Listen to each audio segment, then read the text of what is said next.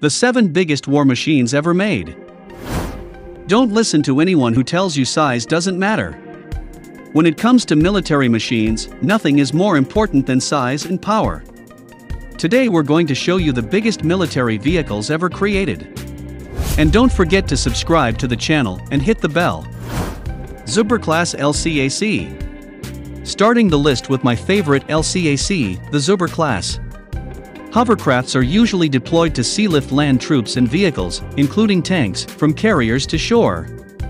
The Soviets have established dominance in the hovercraft field with the Zubr class, which first deployed in 1988, the biggest military hovercraft in the world. The Zubr displaces 621 tons and can haul 150 tons of cargo.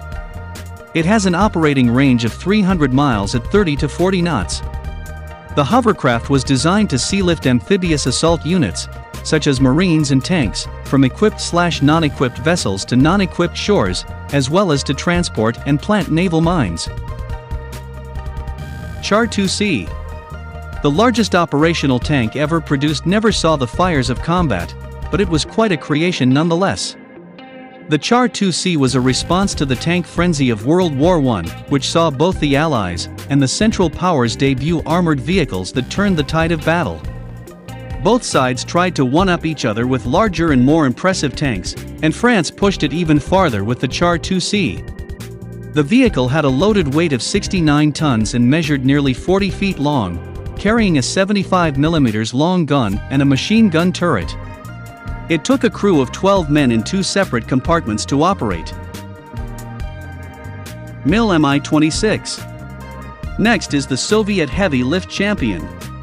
It can carry 90 men into battlefield as much as C-130. The invention of the helicopter drastically changed the face of warfare, with vertical takeoff and landing capabilities allowing soldiers and equipment to be inserted right in the center of battlefield.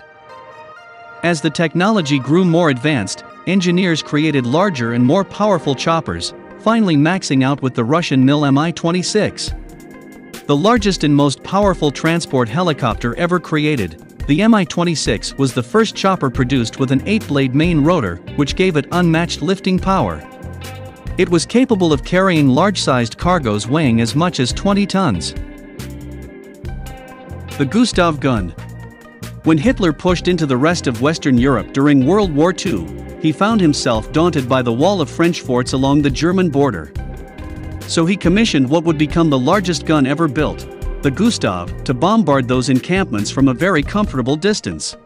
The cannon, which weighed in at a flabbergasting 1344 tons, required a 500-man crew to maintain and operate and shot targets up to 29 miles away. During the siege of Sevastopol, the Gustav played a major role in decimating defenses, but soon afterwards the US Army captured the gun and cut it up for scrap. USS Enterprise Coming up next is one of the most loved aircraft carrier. She was the world's first nuclear-powered aircraft carrier. Clocking in at a length of 1,123 feet, she was the longest naval vessel in the world when she was built in 1958. The Enterprise was meant to be the first of six identical aircraft carriers. But costs for building just one was so high that the other five were cancelled. It used eight nuclear reactors for propulsion and housed a crew of 3,000 sailors. After serving for 51 years, the Enterprise was finally went out of service in 2012. Typhoon Submarine The Typhoon-class subs are the largest military submarines ever built, clocking in at a staggering 515 feet long. Amazingly enough, for a vehicle of its size the Typhoon was remarkably stealthy, thanks to a five-layer hull of sound-dampening plates. Due to its large size it allowed luxuries that a submariner could only dream of. But the Typhoon is not a pleasure boat, it was a submersible nuclear missile farm. It carried a payload of 20 ballistic nuclear missiles, and was capable of staying submerged for three solid months at a time.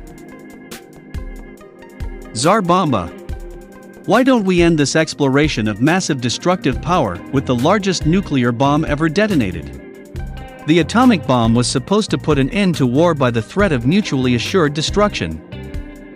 But that didn't stop both sides of the Cold War from trying to outdo each other with shows of force. Tsar Bomba was a 27-ton hydrogen bomb detonated over northern Russia's Novaya Zemlya archipelago in 1961. It unleashed an explosive yield of 50 megatons, over 3,300 times the strength of the bomb dropped on Hiroshima. If you enjoy this video subscribe to this channel and hit the bell icon.